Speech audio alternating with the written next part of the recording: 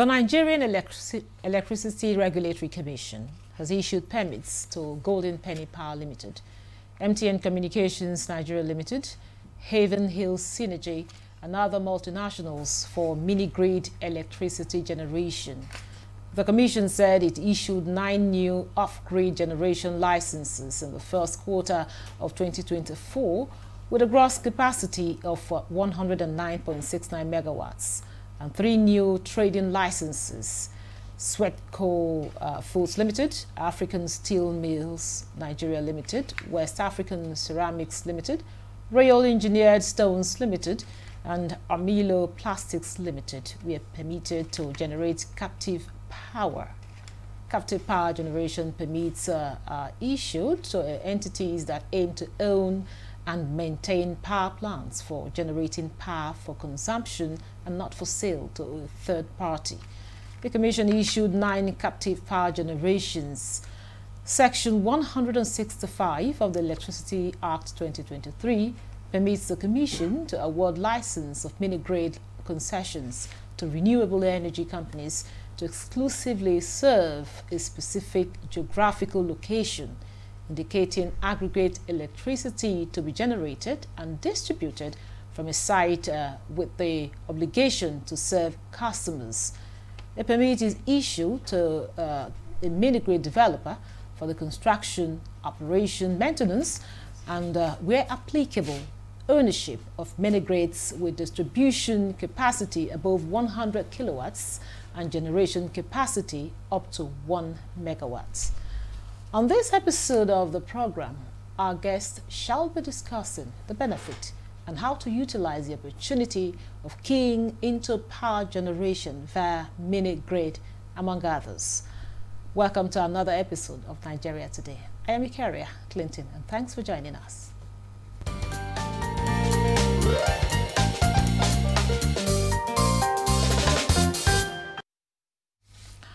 Joining us for the discussion is Uket Obonga, Executive Secretary, Power Consumers Advocates of Nigeria, and National Secretary, Network for Electricity Consumers Advocacy of Nigeria.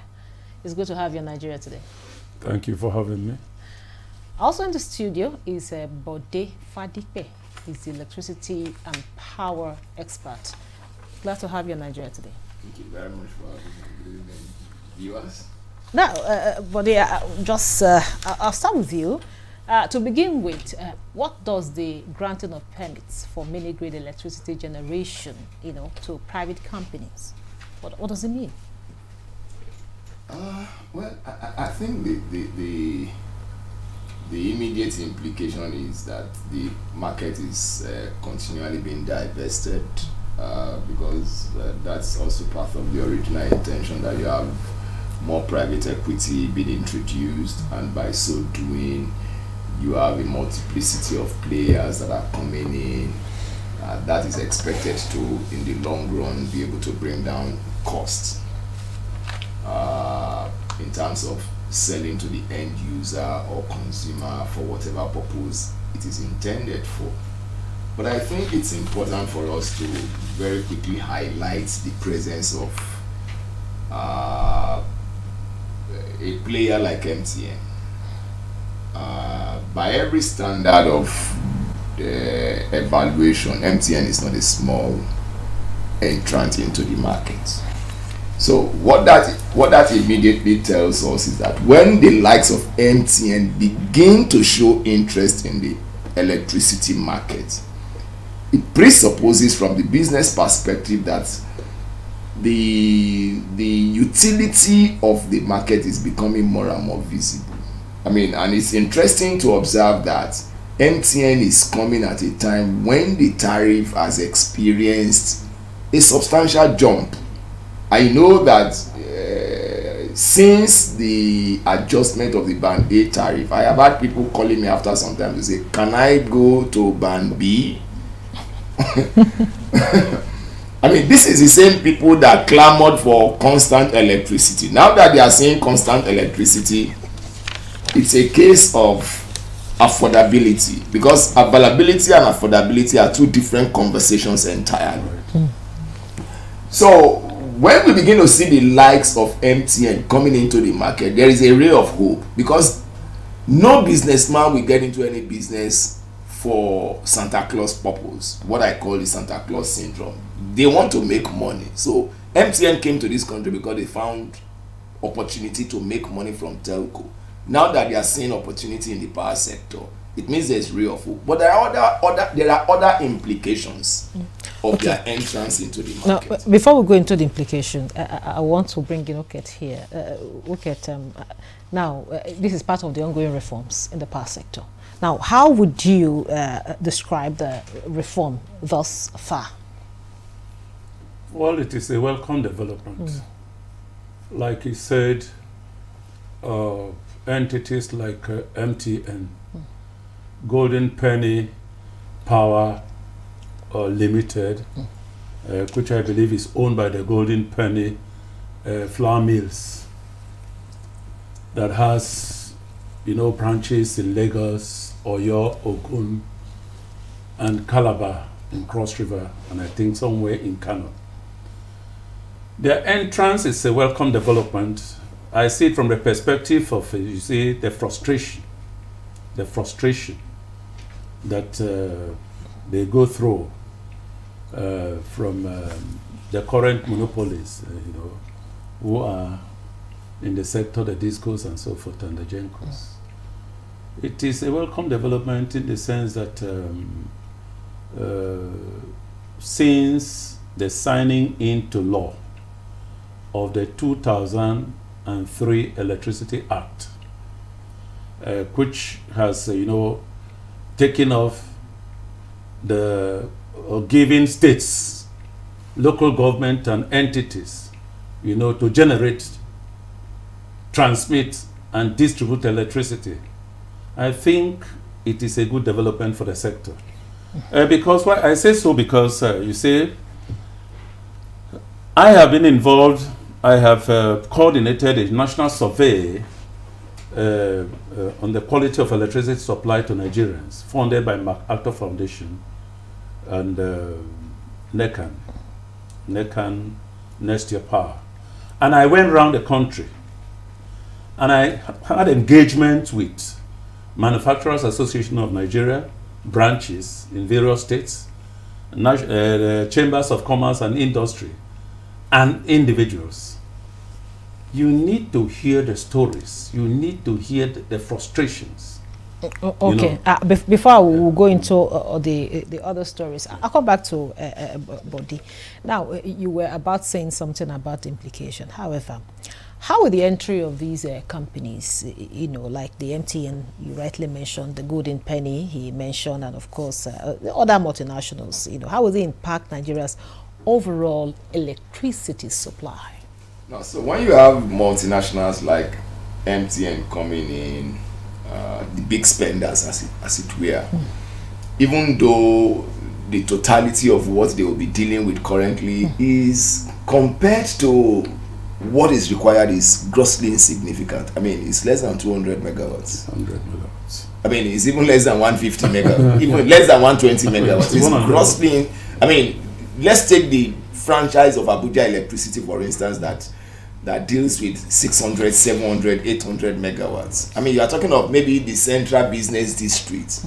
Now, take where central business district area in Abuja is significant because of the location. I mean, because of the the, the the the end users that it caters for.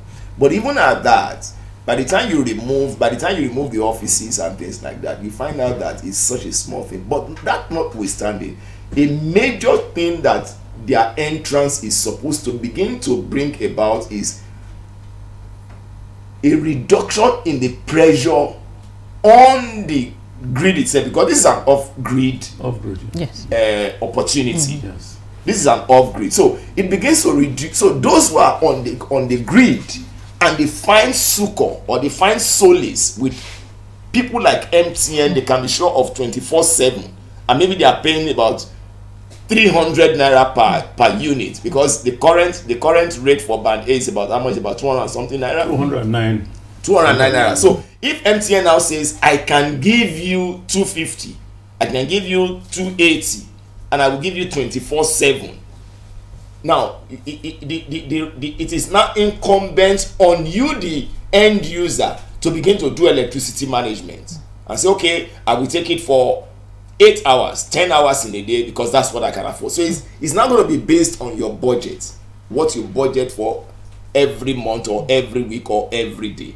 But let it also be very clear that one of the things that we are likely to see if we now have a multiplicity of the likes of mtn coming into the market is that the grid pressure will, is expected to drop depending on how much they can generate and the people they can use. I mean take for instance if you are dealing with some estates in abuja that has that has estate structure you are dealing with two three four five estates and you are providing electricity for them providing electricity they will not be relying on the grid again. So what is available in the grid goes to productive effort.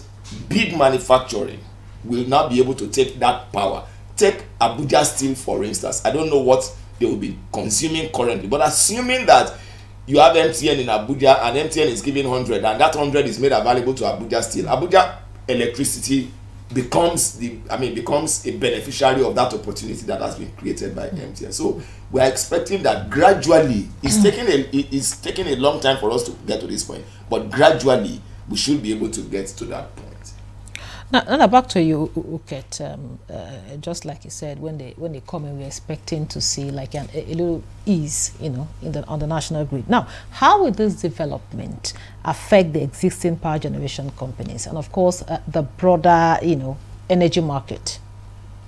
Yes, um, the Gencos will sit up. There's no doubt about it.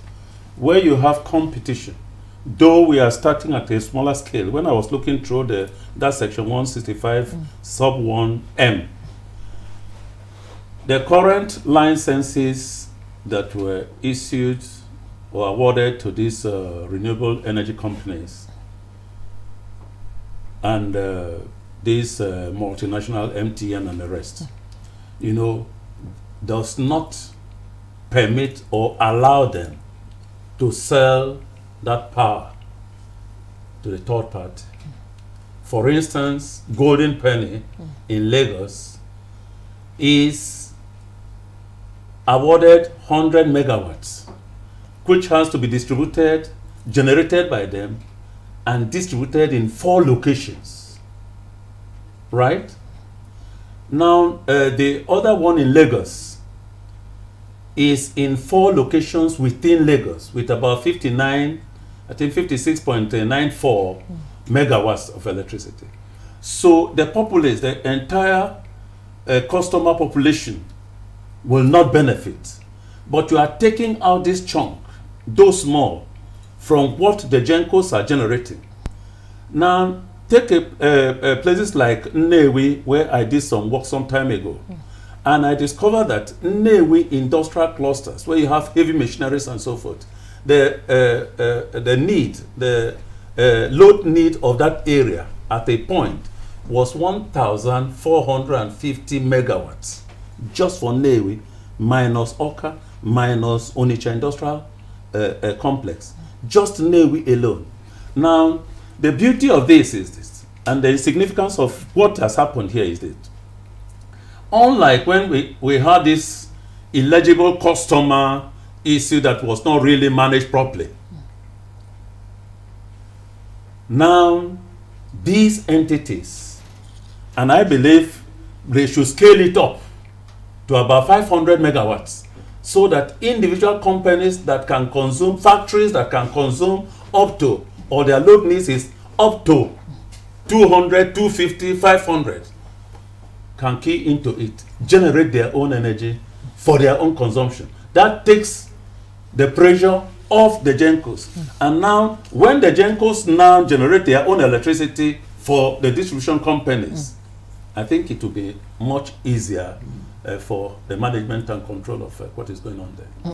Mm. Okay, now back to you, uh, but you were talking about the impl implication of, of, this. Now, now tell us, what are uh, some of the implications of this, uh, you know, uh, permit? My, my, first fear, my first fear is by the time these major companies begin to deal with those who can afford, mm.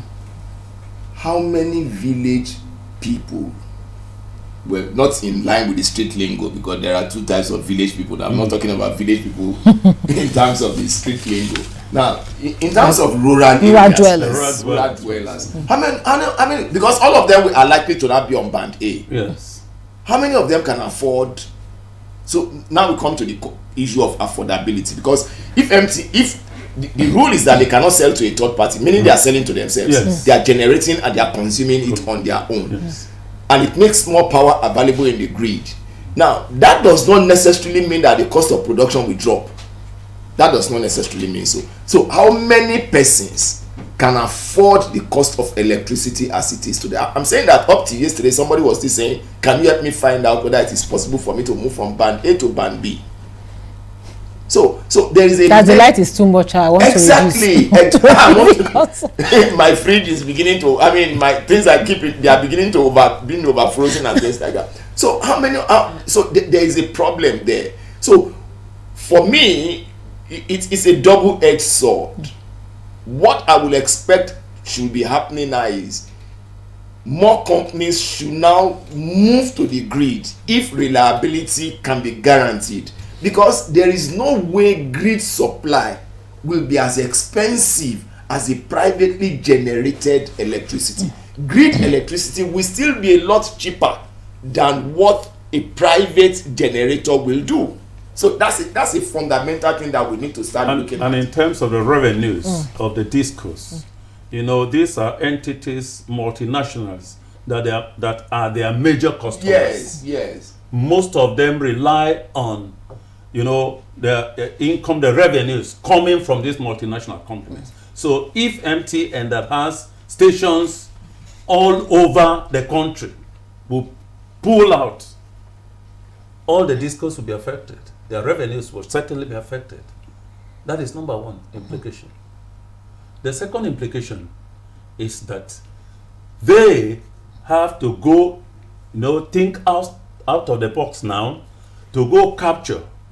We have about eight uh, about uh, 85 80 to 85 million nigerians according to a world bank report that are not connected to electricity. This will entail the distribution companies the regulators and everybody to put on their thinking caps and do what go into customer Yes. enumeration to capture the spokesman of ANED, Association of Nigerian Electricity Distributors, sometimes t- said, uh, when a panel together, he said there were about 25 to 30 million Nigerians using electricity. The former MD of Benin Disco, once in the National Assembly in the Senate Committee hearing where I made a presentation too, told the world that there were 35 million Nigerians in electricity.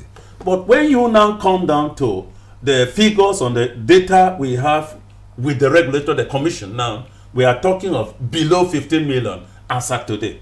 15 million as at today. So if we have 25, so you still have 10 million that the discos have, they must be compelled to go and capture. So uh, electricity now accessibility you know uh, space will widen more people will be captured into the net and it will be better for the country Okay, now, uh, but uh, we are also uh, going to look at the uh, area that is very, very important to this uh, administration. We're talking about the area of uh, job creation. Now, what impact will this move have on local job creation and economic development in areas served by these uh, mini grid? No, I mean, from the word from the word go, electricity has always been a catalyst for socio-economic and even political development. I mean, where where you have uh, electricity in the quantity, in the right quantity that you need it, you can run both your day and night economy. Right. So, if the likes of MTN begin to generate their own power, if we begin to have a lot of off-grid uh, availability of power, of course, it means that more jobs will be created. One of the reasons why a lot of people find it difficult to run their private organizations today is because of the budget for electricity. I mean, take for instance, you, you have to run a mini generator, or even I better pass my neighbor, and your kind of job is such that you have to run it overnight maximum you cannot do more than six hours. And it is not every appliance that you can put on that i better pass my neighbor mm. so if you go a little bit higher you and you know the cost. I think up till last week somebody was still telling me that they bought petrol for about 970 naira for a liter. Mm. i mean aggregate that that's 1000 naira. Correct. How many liters are you going to buy to run, run your gen overnight? So mm. if if we are beginning to get sucor from the electricity market. And a lot of people can now get more electricity from the from the grid. It means that employment will be created economic stability will be achieved social problem will reduce and a lot of people will be gainfully employed.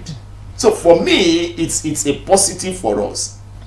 Uh, now, uh, let's talk about um, the, the area of uh, overseeing, you know. Now, now uh, Uket, in your opinion, what measures should be in place to ensure that uh, these, uh, these multinationals that are entering into this sector now are being over, you know, they oversee and regulate the operations of these multinationals? Simple. All that the regulator should do mm. is to play by the rules set. Yeah. That's all. The problem we have had in the sector all these years is because of uh, the, how do you call it, regulatory somersault. They come up with this, the next day they are changing it, another day they are changing it. So you have set the rules. Allow them to play by the rules. Don't introduce anything that will create problems because now, MTN, uh, I did a research some time ago and discovered some companies, some multinational companies, how much they are spending on alternative power. He called, he, he it generator, many generator uh, uh, power. And I discovered when I aggregated everything about 16 point something trillion. 16 point something trillion was spent annually that is minus you and I and other Nigerians out there with their own. I'm talking of multinational companies. At the end of the day, they are investing, or this uh, uh, window has opened for them to invest this 16 or part of this 16 trillion to generate their own electricity.